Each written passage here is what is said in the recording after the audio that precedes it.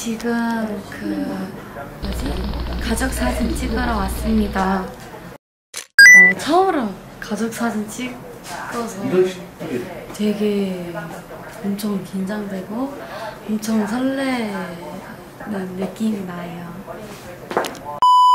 화장이랑 헤어랑 다 같이 해가지고 엄청 완전 꾸미 꾸며서 하니까 너무 더 좋아요.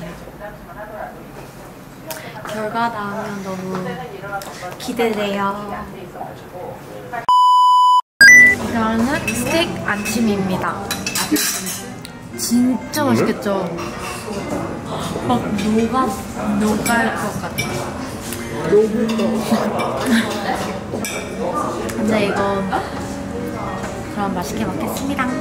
이거는 감자. 소스 안 필요해.